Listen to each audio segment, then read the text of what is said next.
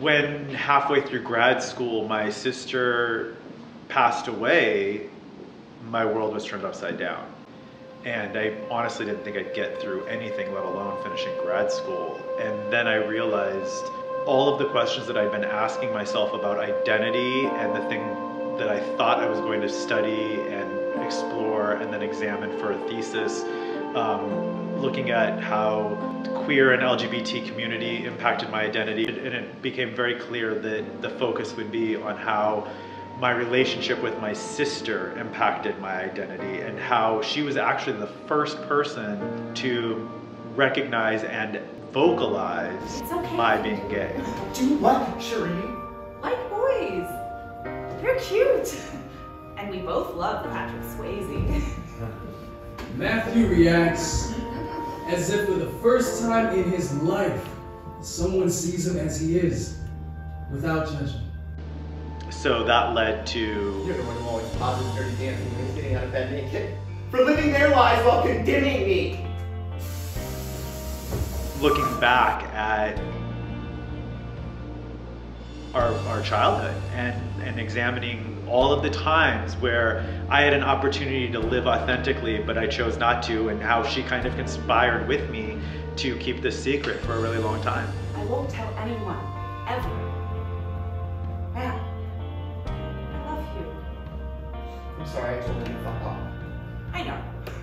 I love you too. My grandmother, I think, recognized it even before my sister did, except that my sister was the one that articulated it out loud. My grandmother made sure that I was nurtured and fostered it in bringing me to the library. Our grandma was constantly reminding us that we needed to get along. Blood was thicker than water. That one day, we would only have each other.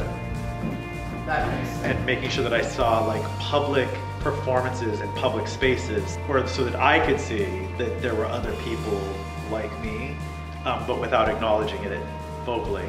The bigger my ego or personality or passion for this art and this industry grew, the more it shrank in my sister.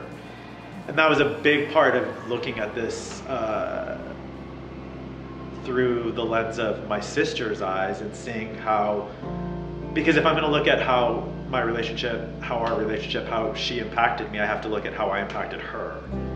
And so then, and that's a huge part of this play was me imagining her response to something that either it was born out of a conversation that did happen in our past or that I wanted it to happen, but she always shut it down for whatever reason. I got to kind of suppose her reasoning. And in doing that, I got to see how often I probably subconsciously bullied her into not following her dream dancing or performing. Shiree didn't want this as much as I wanted it. So then Shiree started wanting this for me. And in our adult life, that became our relationship is that my sister was a took over being my number one champion from my grandmother when she passed away. And so my sister then was a huge advocate for my continuation and my success. And at the same time, she wanted me to be home, home being back in Colorado where she had moved back to, um, because I think she knew her time on earth was limited and also she wanted me close to her daughter, my beautiful niece. What has surprised you the most about directing the piece? Well, when I wrote it, it was cathartic. I, I it was painful. I was cr- I cried a lot, and I was reading a lot on sibling loss. There isn't a lot out there. I, uh, I learned that was the first thing I learned when I lost my sister is that there's a lot of uh, work out there and help out there for parents who have lost children and children who have lost parents. Uh, but there aren't a lot of books out there for siblings who have lost a sibling. Uh, so I, the writing process, it was hard, and I, but I, I anticipated it. I love directing, I love choreographing, I love being in a theater, I love working with actors. So what I was not anticipating, and the hardest part of this process was watching actors who I respect and who are, I'm close with. You know, one of them is my partner. Watching them bring to life my story and my, my sister and I have to re-witness every mistake that I made in my life. Watching it unfold on stage, that was hard. And it, emotionally, I wasn't prepared for it as a director. And there were moments when I couldn't, I wanted the scene to go a different way, but it wasn't fair of me to ask the actors because it's in the text and they're reading it the way that it's written and they're interpreting it the way that they interpret it. And so that was kind of hard because I'm like, well, that's where I got it wrong. See, I didn't see from my sister's point of view, but I get to see it through the actors. So I think I did a good job with my writing, but it's frustrating as a director because I want to change it and I really can't unless I want to change my writing and I don't. This notebook was the last thing Grandma wrote in. This wrapping paper, it came from the first gift I gave to her. Shiree begins frantically walking through the house, collecting trinkets and mementos from every corner of the overstuffed room. Mounds of notebook, boxes, and stickers. That's a big challenge. Yeah. What's been the most joyful thing about directing it? Watching these actors who I respect bring me and my sister and our story to life. Uh, yeah, it, it's I will never get to see her on this earth again, other than in a recording or I hear her voice, you know, in a voice message that I've saved. But this is the closest to working through. I can't. I don't want to. These are my things, my memories. All of the things that we didn't get to resolve.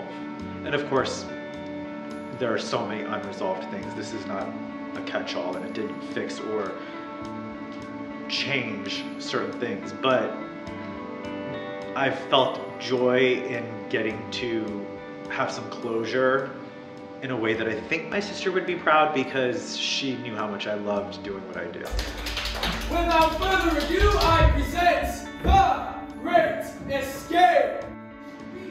I think every writer hopes that their work lives on beyond them and their circle of community. I use the word community because I hope that what this play will do is be of service to the people that are grieving and communities at large that are grieving. You know, grief is different every day and it's different for every person as far as I can tell and from every conversation that I've had with professionals and friends and family and actors and uh, professors and everyone has a different way of working through their grief and their loss. But what I think that I've done with this play is I've touched on moments in one's life that are universal and explored them in a way that we don't look at until we've lost someone. Just two more reps. This is how you get your life back. And we don't have these conversations in society, or at least not in American culture. We don't have conversations, I'm paraphrasing, but there's a version of what she says in the play, uh, reminding me and my sister that one day we will be the only people that are like witness to the life that we've led. And that moment in the play always strikes me because my sister is gone. What do we do? That witness that that would testify to my life. She knows where the skeletons are buried. She's gone. And so I was not prepared for that. And I don't think anyone's prepared for that, whether you lose someone at eight years old or 48 years old or beyond, it doesn't matter. And so what I think that the play, what I hope that the play does is it reminds everyone that we all go through this rite of passage of loving someone and losing them and how it impacts us forever forward and what we will do with that because what I hope to do is to honor my sister and continue creating work that inspires and challenges and motivates and is from a positive place because that's who my sister was. Thank you, Matthew. Thank you. I can see clearly now the rain is gone.